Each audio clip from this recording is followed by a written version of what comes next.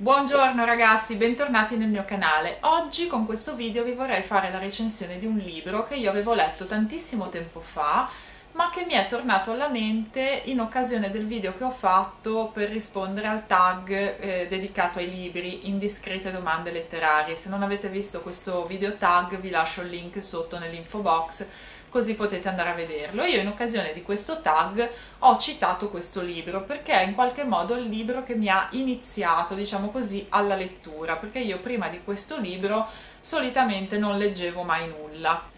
Poi intorno ai 15 anni ho letto questo libro e da lì diciamo ho cominciato poi a leggere, quindi insomma l'avevo citato per questo motivo, però oggi vi vorrei fare proprio la recensione del libro. Il libro è questo, Cumuli di roba e di spade, l'autore è Alberto Marchesi ed è una storia vera, quindi racconta la vera storia di Alberto, eh, della sua tossicodipendenza, di come ha iniziato, di come è riuscito ad uscirne tra lotta, fatica, disperazione e anche poi la soddisfazione di uscirne.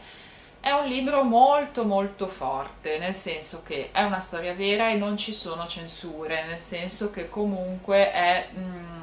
molto schietto nel raccontare quelli che sono i suoi vissuti, come ha iniziato a fare uso di droghe, quello che succedeva all'interno della comunità, la sua disperazione, le sue emozioni, quindi è veramente un libro molto molto forte io l'avevo letto a 15 anni e insomma è stato un libro molto intenso, soprattutto da leggere a quell'età.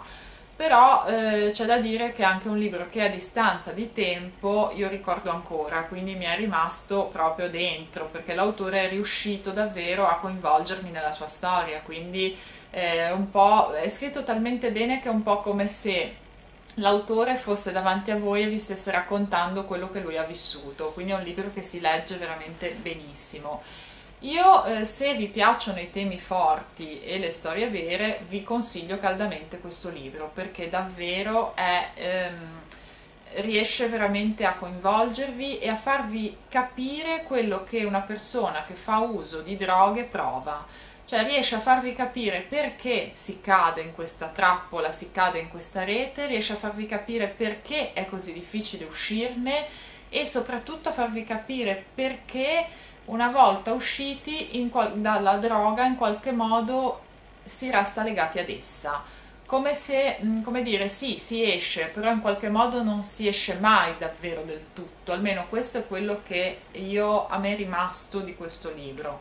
Un po' come dire, caspita, una persona che fa uso di droghe anche quando riesce ad uscirne in qualche modo se ne è liberata ma solo in parte, perché quella cosa farà comunque sempre parte di te. È veramente un libro che mi ha colpito, mi ha colpito tantissimo e ripeto, io ve lo consiglio, ma ehm, attenzione perché è molto forte, ci sono dei temi molto forti, quindi è un libro che va letto ovviamente se avete la voglia e la curiosità di entrare in una storia forte.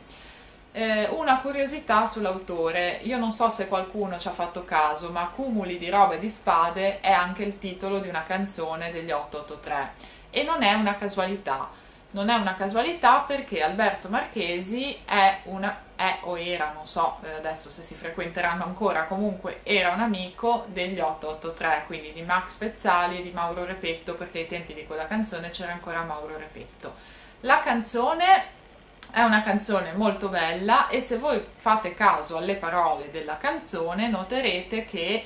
parla di un ragazzo che eh, ha, fatto, ha cominciato a fare uso di droghe che poi è andato in comunità. Quindi se voi andate a sentirvi questa canzone, fate attenzione alle parole, vedrete che eh, richiama proprio questo tipo di esperienza. Io vi lascio il link in descrizione della canzone in modo che se per caso non l'avete presente, avete voglia di andarvela a riascoltare, potete farlo ed è comunque una bella canzone. Quindi insomma eh, non è una casualità, il titolo è, è proprio dire riferito a questa esperienza e la canzone è stata proprio tratta dalla storia di questo ragazzo. Quindi ragazzi eh, leggete questo libro, vi auguro una buona lettura, vi do appuntamento al prossimo video, vi mando un bacio come al solito, buona giornata a tutti!